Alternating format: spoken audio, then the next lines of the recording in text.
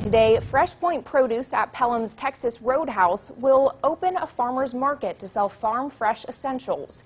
Each package includes fresh apples, bananas, corn, eggs, milk, and other fruit and vegetables. It will be in the parking lot of Texas Roadhouse at 60 Drivers Way in Pelham.